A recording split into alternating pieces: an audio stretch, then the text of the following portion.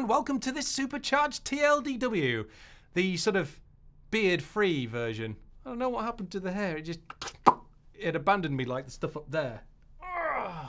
Well, last time, Surma and I took the router that we made two sessions ago and turned it into a more advanced router. Let me show you what we did. So you can see on screen, it's not vastly different from last time, except that now we've got this spinner and then the content fades in. But actually, under the hood, a bunch of things have changed. Let's talk about that over there in Theory Corner. Oh, hello! Welcome to Theory Corner. Good of you to join me. That's probably because I asked you to. Don't worry about that. Anyway, the router is pretty much the same as last time, except last time we had one index page which had all the content in. And no matter which URL you went to, we served you the same index. No more. What we've done is we've broken each of these out into their own individual pages. That means when we deep link, we're just going to show those individual pages. But we can enhance with the JavaScript. So what happens if you go to the About page is that we leave placeholder sections, if you like, for contact, MISC, and home. And then when you choose one of those, we XHR or fetch, it's your choice. I chose XHR for reasons that will become clear. Uh, we XHR or fetch them in and we populate them dynamically. And while we're waiting, we show a spinner. All make sense? Good, let's go and look at some code. Welcome back to the Cody bit. I love code. Who doesn't? yes, now the code. Well, in fact, as I said over in Theory Corner, not a lot actually changed inside the router. In fact, most of our changes have happened in the HTML and in the view. So let's have a look at the HTML so this is what it looks like in the main index. You can see we've still got our SC view, which is the custom element for the view, uh, but we have now added a visible class for each individual area that's visible. In this case, the visible area is home.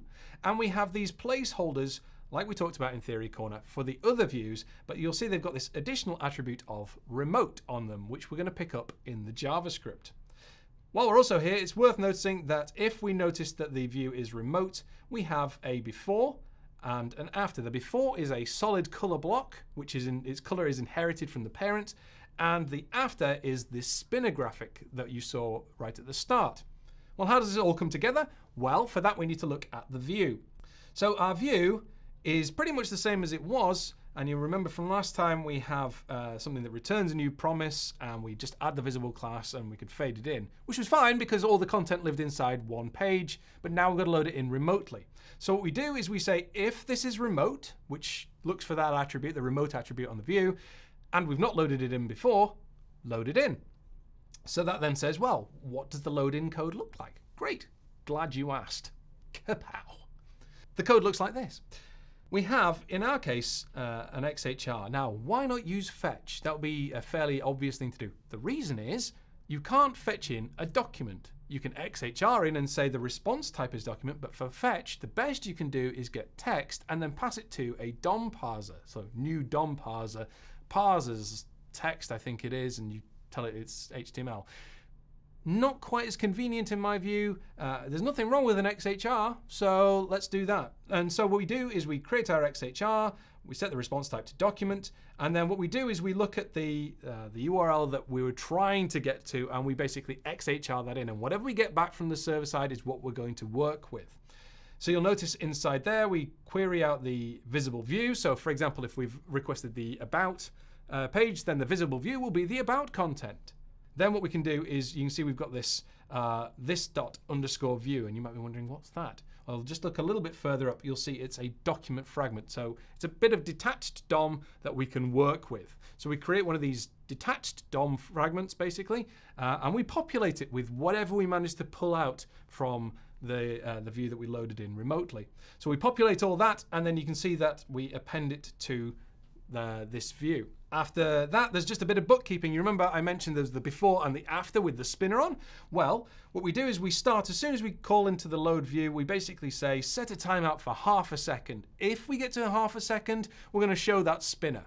If we don't get to half a second, no big deal. We'll just show the content. But if we do, uh, you'll see here we've got the, the show spinner, which turns on the opacity and then uh, when the content's actually loaded, we can clear that timeout and we can also hide the spinner, which will cause it to fade out and that will reveal the content behind.